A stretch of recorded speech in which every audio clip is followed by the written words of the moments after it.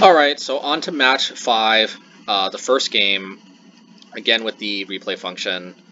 Um, let's see how this goes. So, uh, you know, this uh, this hand was a keep, you know, and with how fast it scrolls, thankfully, um, you know, thankfully I can look at this and explain it. Uh, so this was a keep because, you know, it, it's not necessarily obvious, but I mean, um, this uh, does seem to uh, have a lot of game. You know, it can be a little clunky, but there's a lot of matchups, like particularly attrition matchups, where where you know Aether Vial isn't even like that necessary. You know, Aether Vial really helps you really pull ahead in terms of tempo. It makes up for the fact that the deck can be kind of clunky without it. Lots of two drops. Two drops that by themselves aren't particularly powerful, but you know together they can be very powerful. So when you have Aether Vial, you can really play a lot of them simultaneously.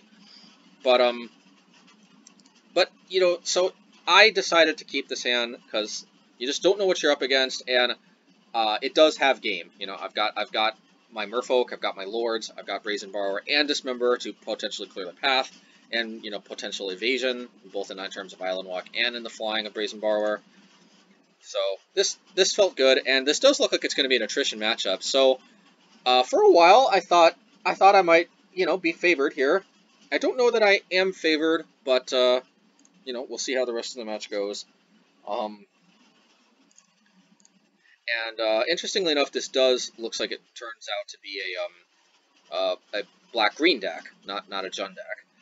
And uh, I'm less familiar with playing this particular matchup, but but I think it's roughly the same as Jund. I could definitely be wrong. Uh, the fact that it's less susceptible to spreading seas, though, is definitely a thing. I guess spreading seas is very um, is very good. Now here, I choose to play Aether Vial. I just feel like there's a lot of potential uh, removal spells they could play. You know, that might have been that might have been a mistake there, but um, I just really want to get the potential to maybe overwhelm the Liliana at some point in the future. And I'm actually feeling good about the Smuggler's Copter because they have to have basically Abrupt Decay or um, Assassin's Trophy to really punish this, and unfortunately they do have the Abrupt Decay.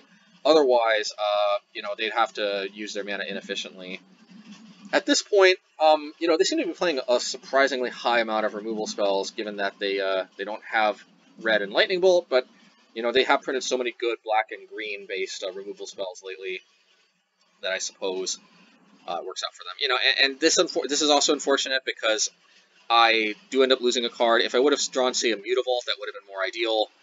Uh, I, I just Lord of Atlantis, even though I am a little more susceptible to Maelstrom Pulse.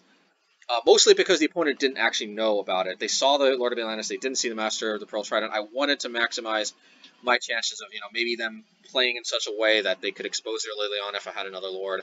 Um, you know, it doesn't look like that really happened. Uh, and uh, here, unfortunately, the Dark Confidant just kind of um, is just kind of a big problem.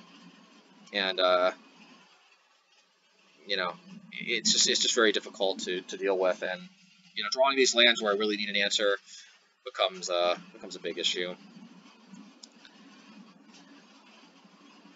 So, yeah, this is kind of how it goes sometimes. Um, I, I, think I was looking for a Harbinger here. I wasn't exactly 100% sure what exactly I needed. Maybe maybe spreading seas into Harbinger, but um, yeah, I think I'm looking for a Harbinger here. And two more Castle Vantresses is just not going to do it. Um, yeah, I, I, I definitely needed Harbinger to bounce the Scavenging Ooze and keep me in the game.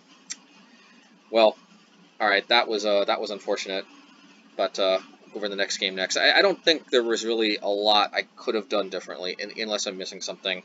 Um, yeah, here it's just their draws line, you know, lined up particularly well. The Aether Vial came kind of late. Um, you know, I, I did discuss, I think, a little bit about how I used to like how Faerie Conclave could uh, could help keep Planeswalkers more under control. But I think I was kind of stuck on two mana for a while there, if I'm not mistaken. Regardless, um, I think I'm going to be making some changes uh, to the deck. You know, and uh, you know, I'm not sure. Maybe Faerie Conclave might uh, might get tried again. Um, I do like how it really helps keeping plane keep Planeswalkers under control, but uh, we'll see. Um, I will go over the next game, and we'll see how that goes. All right, match five. Um, game two. So, um, you know, there that last hand was a, uh, one land hand. Again, it, it, scrolls pretty quickly, and uh, it just doesn't seem feasible for me to catch that in time. But um, yeah, there was no Aether Vial. Uh, there was you know nothing to keep. Now, um, the way I sideboarded here is that I uh, sided out three Aether Vials. I kept one in because if I have exactly one Aether Vial, uh, it's pretty good. But my logic was was that this is an attrition-based game. I'm probably not going to lose because I can't deploy enough creatures quickly. I'm probably going to lose because my opponent ends up having more resources than me. Um, so I did uh, take out the Aether Vials, and I brought in, uh, I, brought, I, took out three Aether Vials, and I brought in three um, Aether Gusts. You know, pretty good in a blue, in a green black deck because they, you know, they don't even have the red cards that Jund has. Um, so you know, since half their deck is pretty susceptible to Aether Gust, uh, I figure that's pretty good. It, you know, it can I mean, it's mostly going to be pseudo-removing creatures, you know, putting them on top of their library, or putting them uh, on the bottom. Uh, but I, I, I, do think just having that little extra pseudo-removal is pretty good, um, you know, in this matchup, because Tarmogoyf definitely can be a problem. I also took out the Chalice of the Voids for Relics. I think that's pretty, it's pretty obvious um, that Relic is good at dealing with their graveyard-based threats. Uh, so in that regard, here I have this hand, and I think this is a perfectly reasonable hand. Um, so I do, I do keep it. Um, Relic is the obvious play here. Uh, they do keep an Inquisition. I think that's a mistake because, you know, the reality is uh, they want this is a resource battle, and I think they generally want to have more resources at the end if they can. Um, you know, when when we get into top deck mode. But now here, I make a big mistake. I, I I don't play the Harbinger of the Tides.